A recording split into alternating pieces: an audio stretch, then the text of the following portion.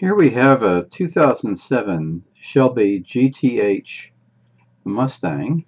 Started with the Mustang and Shelby modified it with a composite hood and uh, new uh, grille, racing stripes, and continued uh, tradition of uh, selling these cars to Hertz, and Hertz uh, used them in the rental fleet.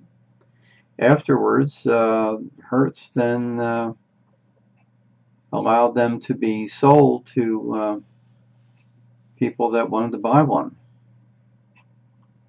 This happens to be a convertible model. Looks like new. They were individually signed by Carroll Shelby.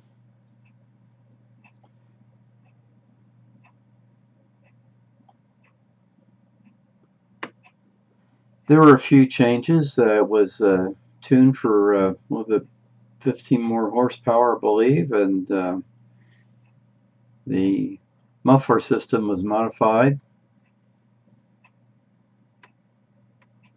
I have a link to a discussion on these, uh, actually built in 2006, uh, these uh, Shelby GTHs.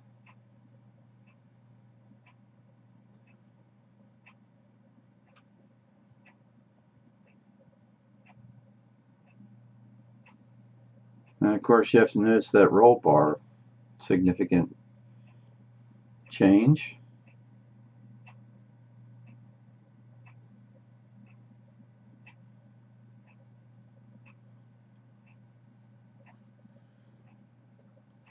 Very neat.